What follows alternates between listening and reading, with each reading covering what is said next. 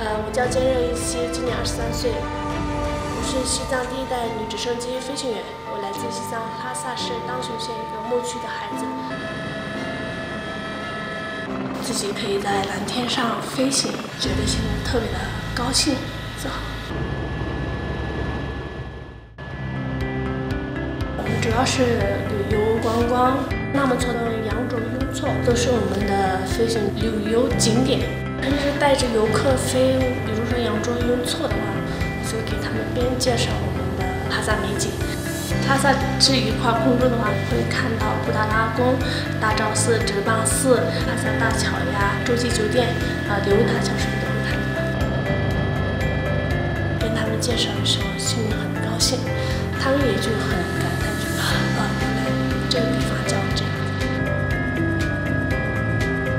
我平时驾驶飞那么错的时候，刚好会经过我家，时候把我送到我家门口那边落地，好多我们的亲戚呀、邻居呀都跑过来了，他们就围着说，在电视上见过这种直升机呀，真是是没有见过的，就心里很高兴。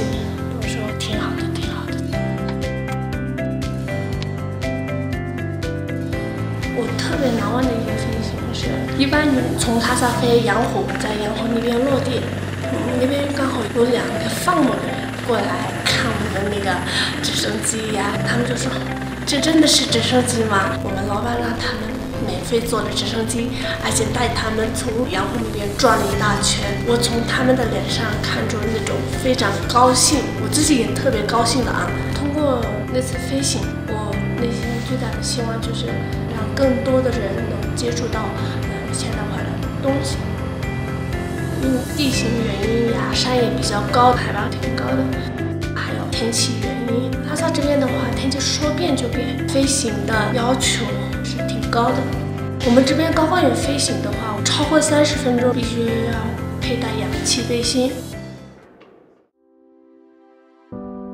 小时候的话，对机械还有那种摩托车呀什么，我就很感兴趣，就是没人教我，我自己学，马上会的那种。就是高职班，班主任给我来电说有这样一个项目，你可以去学习直升机，开直升机。因为他们选的是针对金主扶贫的呃子女给的一个政策。当时我给家里打电话说了这个事情，但是妈妈说有可能啊，你很小很小的时候就会说你要当飞行员，带我们飞行，然后就是去面试，终于选上了，然后到江苏苏州那边。是一六年底去那边培训，心里却想着，我既然选了，我一定要努力，有个成绩要回来。当时就觉得蛮开心的。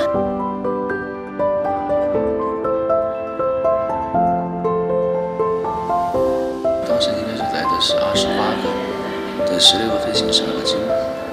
依稀她是也是这女生里面第，这个第一个毕业的他一定是有道理的。对，他在那个内地的时候，这个飞行，他的那个积极性也好，和那个及时的改正，就有有有问题的话，他也会虚心的去就是，一直会到处去请教。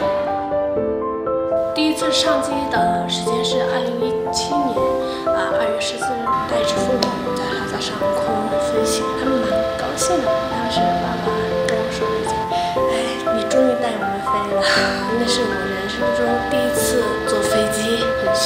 到那边然后，觉得城市蛮大的，楼顶很高很高的那种。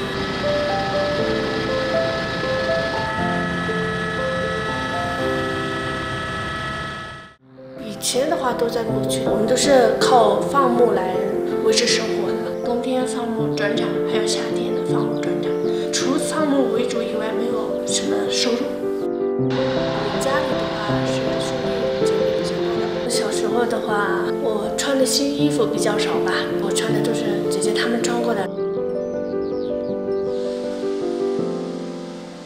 我现在的收入是非常好的，工资的话就是给弟弟他们哥哥的孩子们买一些东西呀，非常感恩国家给我们贫困户子女这个政策，这个机会让我们走向更好的生活。